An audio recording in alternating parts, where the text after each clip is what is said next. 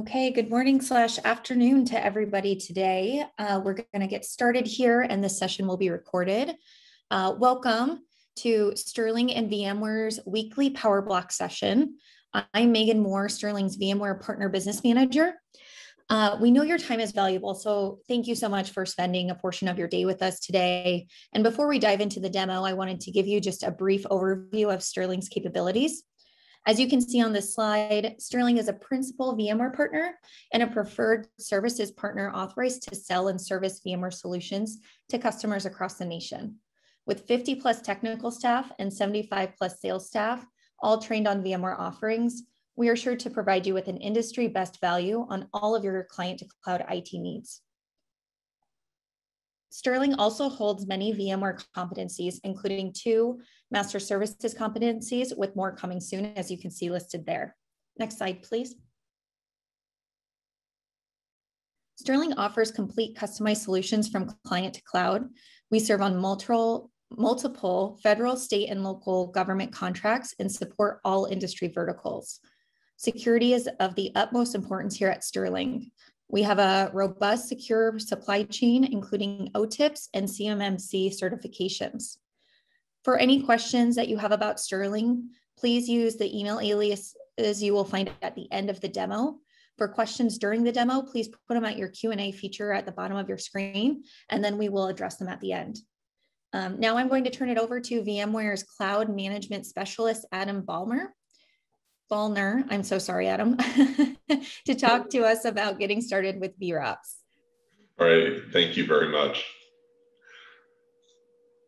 So today I'm going to just kind of be covering a few um, key topics um, within the, the VROPS platform. So VROPS or vRealize Operations is a monitoring and management tool uh, from VMware that collects data from your virtual infrastructure as well as other systems, um, brings it all back in to the VROPS platform compiles it and allows you to do some really cool things with it.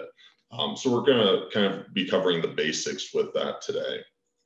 So the three things that I'm going to be covering, um, critical troubleshooting, you know, what are the alerts and warnings in my environment that might need addressing, need to be addressed right away, um, capacity adjustments, um, being able to right size and reclaim resources, for performance improvements and cost savings. And then uh, the reporting and dashboarding capabilities, you know, starting out with simple dashboards showing basic inventory, going all the way up to, you know, more complex dashboards, both out of the box and custom. Um, there's not going to be a demo through all of this. It's basically going to be all slides since this is just an introductory one. Um, but there are, are other power blocks that are coming up on VROPS that we'll get into demos more. So with that, we're going to start out with the lay of the land here. So this is uh, what we call the four pillars. This is what you see when you first log in to vRealize operations. So up at the top, we've got optimizing performance, capacity, troubleshooting, and managing the configuration of your environment and you can drill down into each of those and get more detail on them. So like I said, we're gonna be covering those first three, um, a few different subsections there today. Okay, so the first, first one is critical troubleshooting. So when you look at your environment, VROPS is going to bring back and bubble up alerts from your environment and these are shown under the alert section on troubleshooting. Um, and just to help you identify what's going on in your environment, and then you can kind of sort and stack rank them um, to see what needs to be addressed right away. So if we were to click into the alert section, we would see a list here grouped by time for the alerts. Now with this, um, we can take this and we can basically sort this um, instead of by time, we can sort it by criticality to see which ones we should be addressing first.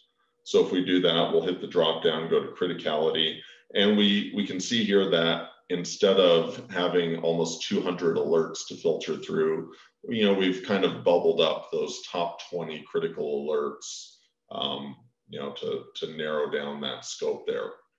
So if we drill into the, the critical alerts here, we, we can kind of take a look down here and see some low hanging fruit, you know, right off the bat. This virtual machine CPU usage is at 100%. Um, so this is something that we should be able to take care of rather quickly within the VROPS tool. So we can drill into this here. and we get a little bit more information. So we're in the triggered alerts page, and this is going to give us the ability to remediate the issue directly from, from VROPS by adding more CPU capacity for this machine.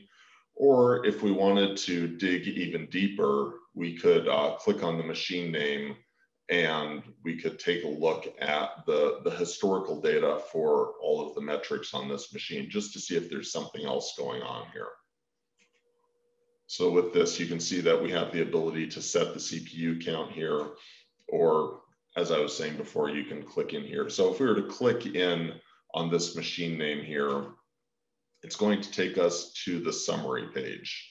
So the summary page, um, it provides a, a, lot of good information. Over on the left-hand side, we can see the hierarchy that's going to show us where this machine fits into the environment, what host it's on, what cluster it's in, the data stores it's connected to, and so on. Um, just a real a quick summary. Um, kind of in the middle there, we see the capacity section, time remaining and, and capacity remaining. And this is showing us that the CPU is the most constrained resource of this uh, particular VM here.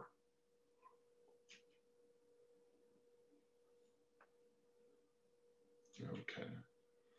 So within this same page, after we've gotten kind of a lay of the land with the summary, we can click up on the actions button on the top there.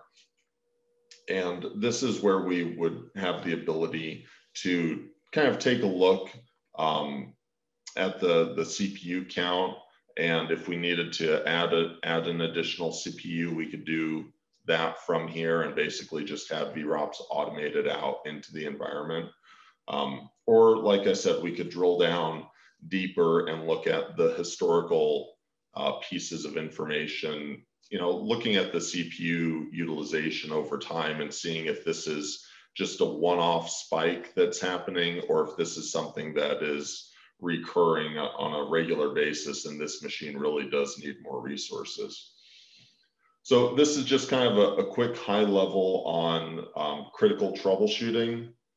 Um, like I said, you can use VROPS for kind of drilling into all, all of those alerts and getting more detail on them. So the next phase or the next section it, that we're going to step through is um, capacity adjustments, um, you know, to save on cost and to improve performance. so again, going back to our, our main landing page, under the optimized performance and optimized capacity, we've got the right sizing and reclaim sections there. So with these two sections, we're going to take these one at a time. First, we'll start with the right sizing tool. So when we go into right sizing across the top, we've got all of our different data centers um, and clusters that, that we're looking at here. And we can see the ones in red have zero days remaining. So they're very capacity constrained. So if we were to click on the production cluster, it's going to populate down below the oversized and undersized VMs within this particular cluster.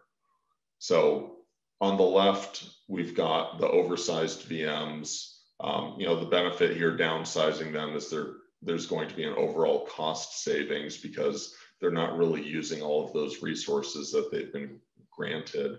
Um, and on the right side, the undersized VMs, you know, if we kind of upsize those VMs, we're going to see performance improvements potentially on those particular machines here.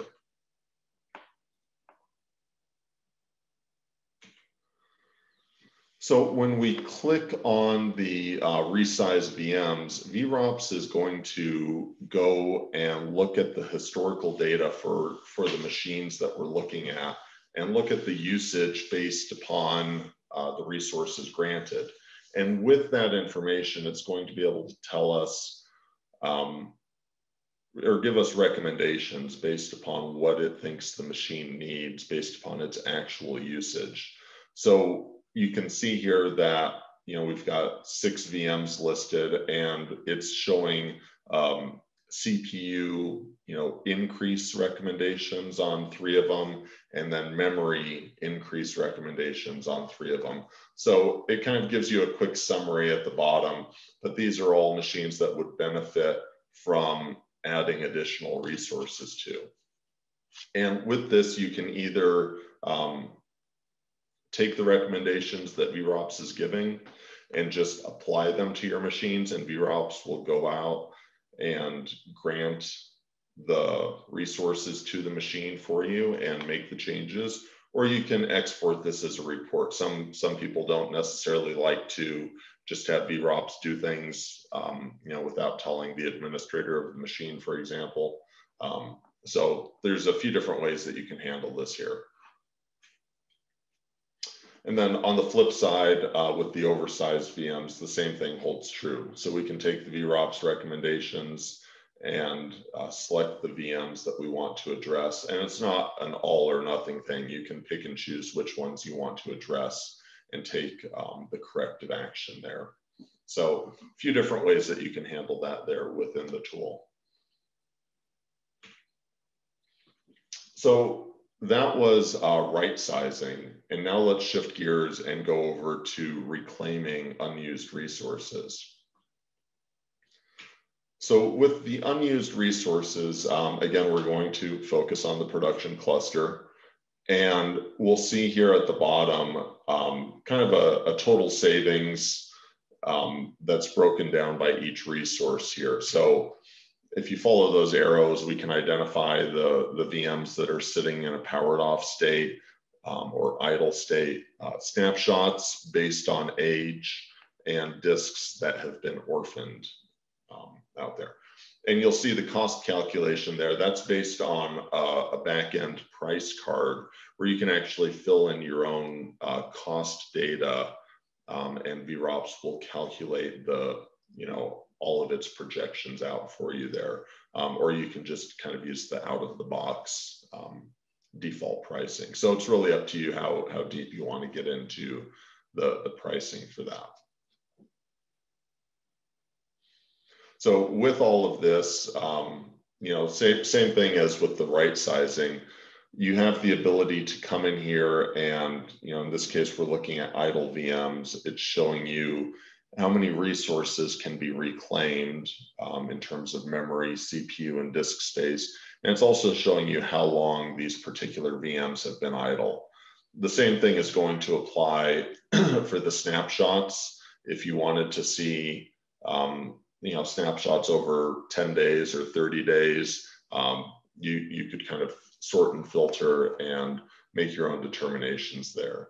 Um, but you can see up at the top of the buttons giving you the ability to power off the VMs, delete the VMs. Um, if you wanted to exclude the VMs because they're a known quantity and you just didn't want them showing up in the report, you could do something like that.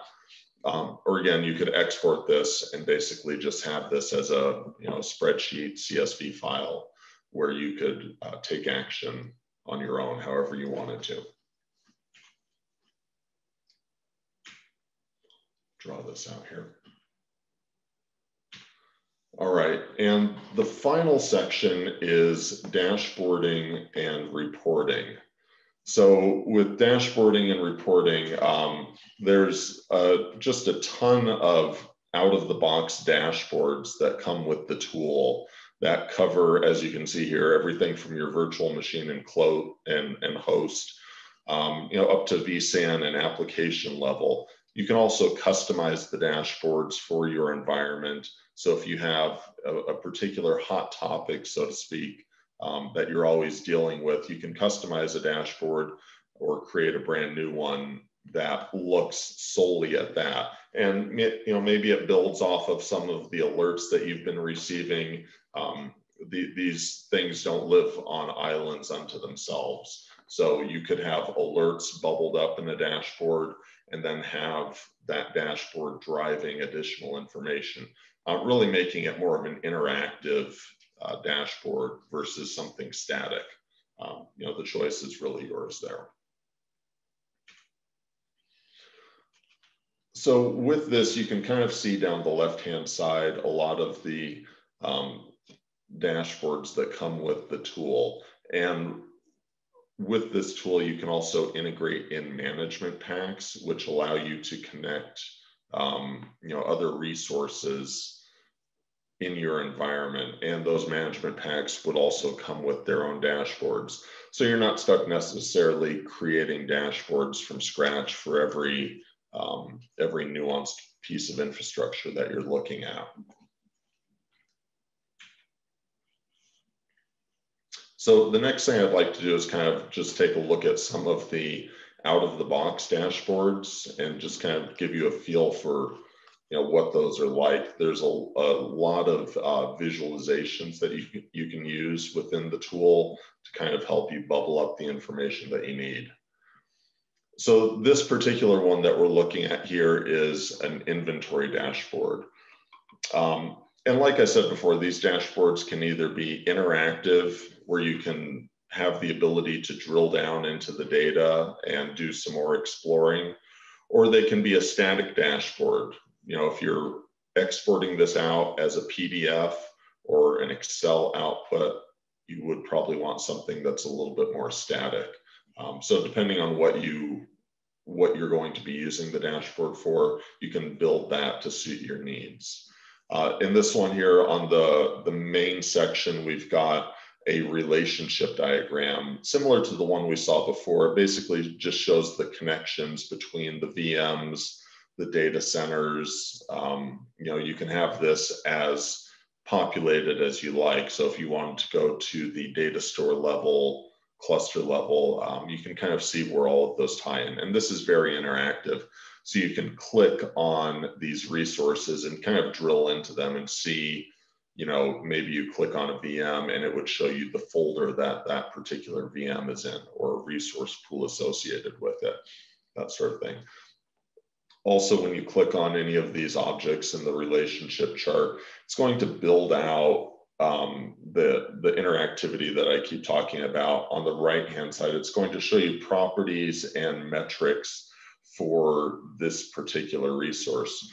Now, VROPS um, out of the box collects thousands of metrics um, on all of your resources, and that that gathering of data is done every five minutes um, on a five minute polling cycle. So the, the data points get rather large rather quickly.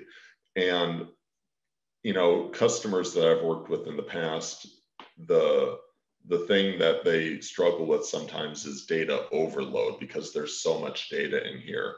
And one of the things I always recommend, and you kind of see it here, is just starting with the basics. You don't necessarily have to go you know, really deep into the metrics to get a lot of useful information.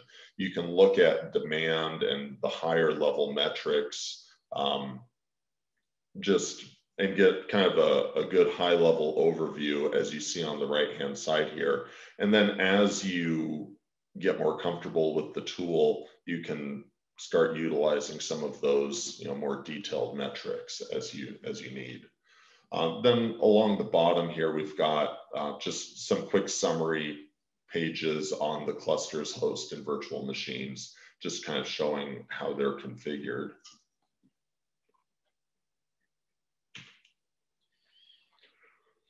Okay, this is uh, another sample dashboard showing virtual machine availability. So we see um, a few different things. On the top, top left, we see the the different data centers, how many clusters, hosts, and VMs are associated with each data center.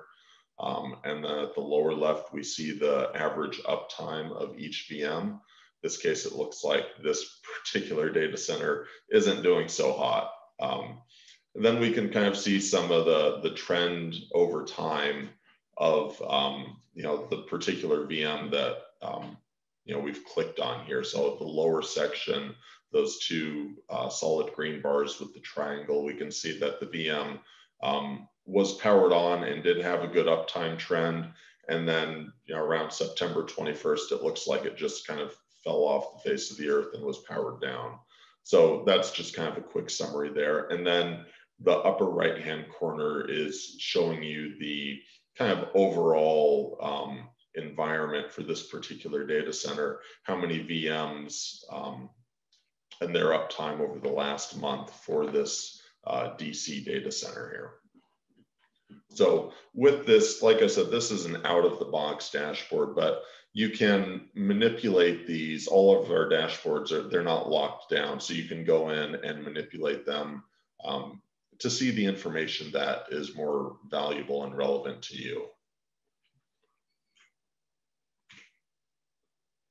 Okay, and another dashboard. This is a good example. The this is a vSAN capacity dashboard, and this is a great example of a dashboard that comes as part of a management pack within the tool. Um, you can see a lot of vSAN, vSAN specific um, capacity information. Um, you see that we're starting to get into more visualizations here with the heat map that you see, that's that colored bar um, in the center there. The heat maps allow you to view multiple metrics uh, in one view. So this is um, as you get into it more, this is going to give you a lot more information in you know a very small pane of glass, so to speak.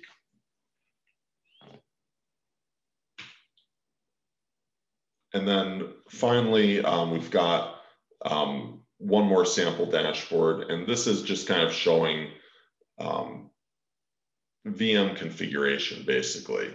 Um, and this goes to show how you can draw out detailed data on your VM. So here we're looking at operating system, tool status, tools version, and all of these different pie charts, you can drill into them. So if you want to get a quick working list for VMs that needed their tools version upgraded, um, you know, you could drill in there and export the data there um, as something to work with. So again, just another way of visualizing um, the data and you know being able to manipulate and work with it as as you need to.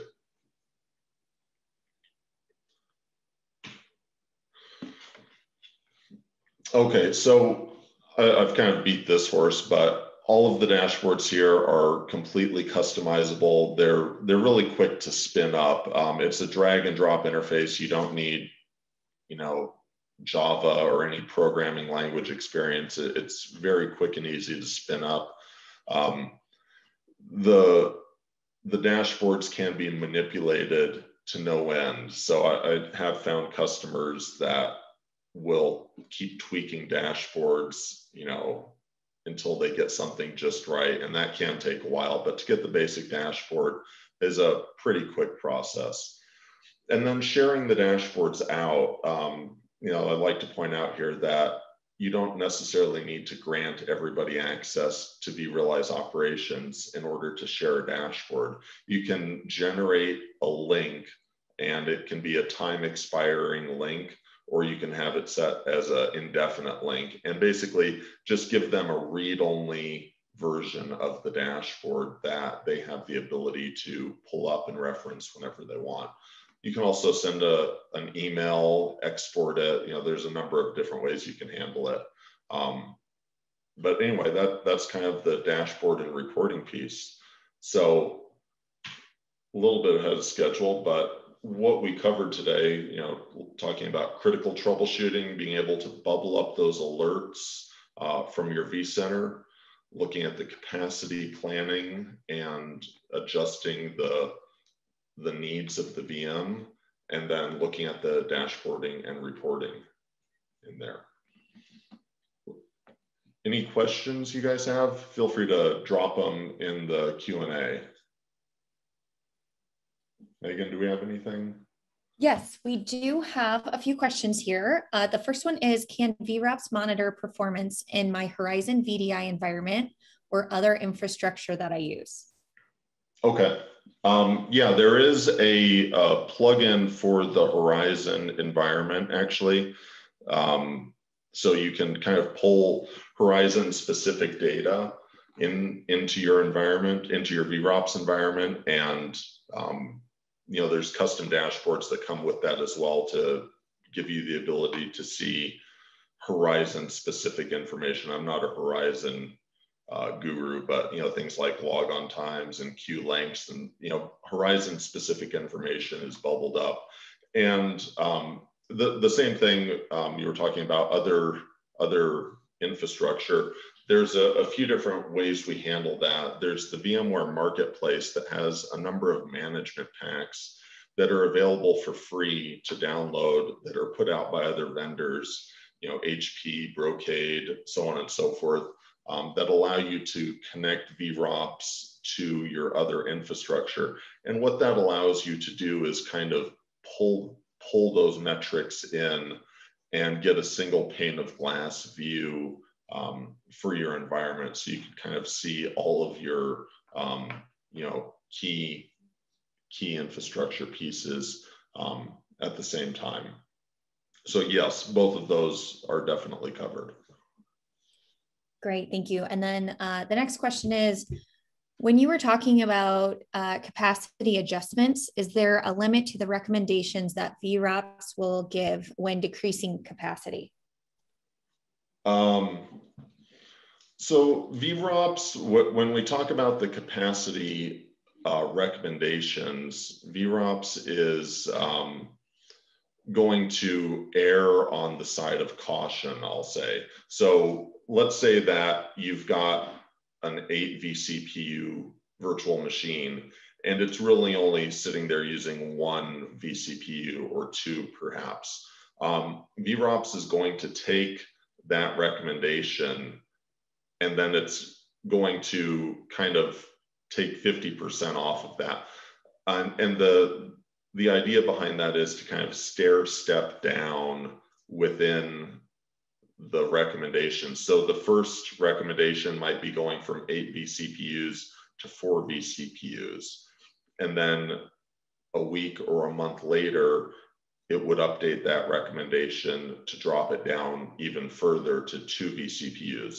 So yes, we're, we're not really going to try and take, um, get it exactly narrowed down, if that makes sense, in, in one, one fell swoop. We're going to kind of take a, a more reserved approach in, in how we handle things there. So yeah, good question. And that is all the questions we have today. Okay, very good. So, yes, thank you so much. And do you have a, another slide with email aliases on it, Adam? I do. Okay, great. Thank you. Um, so thank you so much, everybody, for joining us today. Please do not hesitate to reach out if you have any questions, comments. Um, all of our uh, information is there. Um, if you'd like to see uh, this, get this recording, uh, please reach out and we'll get that to you. It will also be up on our uh, website, on the Sterling website under proven performance. Um, and have a very great day. Thank you. Thanks, guys.